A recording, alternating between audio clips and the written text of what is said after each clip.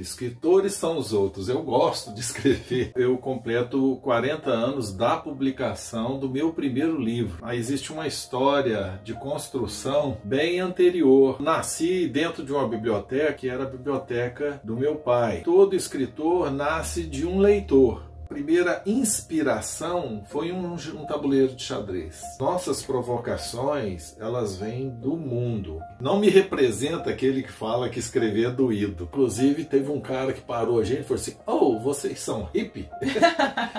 Aí ele falou: Não, nós somos poetas. Ficava no quarto de pensão escrevendo. Vida de escritor é uma frustração danada. 66 anos. Mas eu, eu sou um jovem escritor na, nas redes Literatura continua como uma, um exercício, é a busca da tua perfeição, é a busca do seu melhor. Nossa, esse papo deu quanto tempo?